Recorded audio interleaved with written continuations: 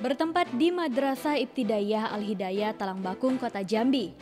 Selasa pagi, PT Angkasa Pura II menjalankan program Bina Lingkungan Bandara Sultan Taha.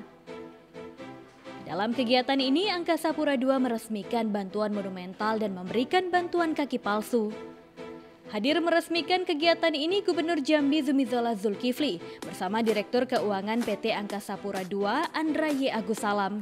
Eksekutif Jenderal Manajer Bandara Sultan Taha Yogi Prasetyo Suwandi, PJS Wali Kota Fauzi.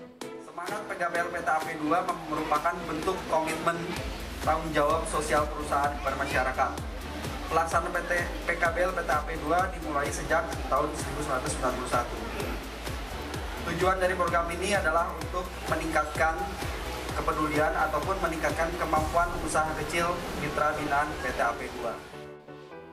Bantuan monumental yang diberikan PT Angkasa Pura II untuk masyarakat sekitar berupa peresmian tiga ruang kelas Madrasah Ibtidayah Al-Hidayah Talangbakung, pembangunan dua unit halte dan 29 kios pedagang yang berada di area Taman Rimba.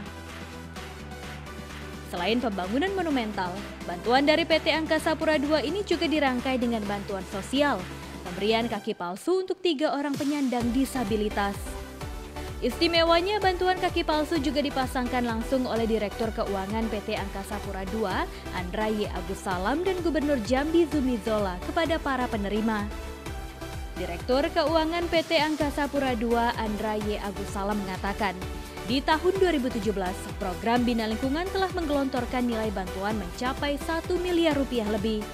Ini uh, terus akan kami lakukan sebagai wujud tanggung jawab dan uh, kepedulian kami kepada uh, masyarakat sekitar bandara di mana kami beroperasi. Sejak tahun 2010 ada 320 mitra binaan yang kita terus lakukan untuk membina program UMKM dan dananya yang berputar juga sampai saat sekarang juga cukup tinggi mencapai 8 miliar dan kami juga berkomitmen untuk terus uh, membagi peran dan ikut berperan aktif dalam membina UMKM di Provinsi Jambi.